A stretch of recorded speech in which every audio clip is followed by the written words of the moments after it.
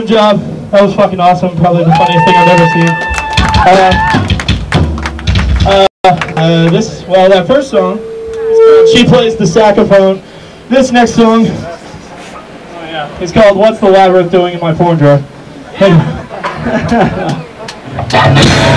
you.